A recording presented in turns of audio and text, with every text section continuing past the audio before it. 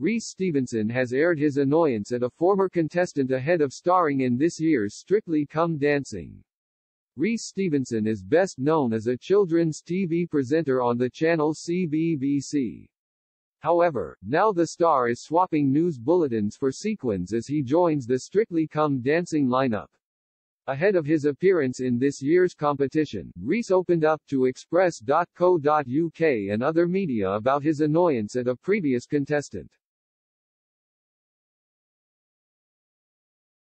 The presenter was chatting about some memorable dances from previous years when his fury at Will Bayley came up. He explained, with Will Bayley, I was a fan but I was also furious because he got to be Pokemon. I was like, of all the people that should have been me, the star went on to joke. But you know what? He did a great job, Rhys continued. That poke doble was phenomenal, it was great. I just wish that I could have been the one to do it. But you know what? He held his own. Strictly fans will remember back in October 2019, Will performed the dance with his partner Janette Manrara. The 31-year-old Paralympian performed a paso doble to the show's theme tune.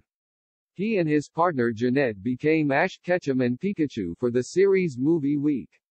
Chatting ahead of the show's 2021 launch, Rhys also opened up about why he wanted to take part in the show this year.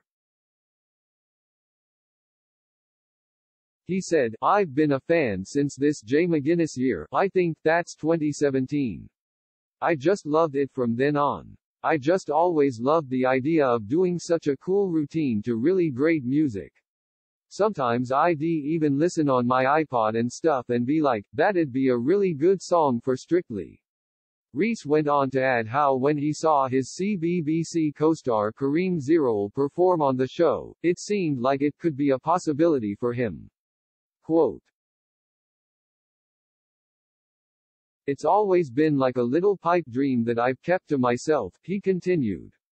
Then seeing Karim doing it two years ago and seeing how much fun he had that made me realize, oh my gosh, this show is as awesome as scenes.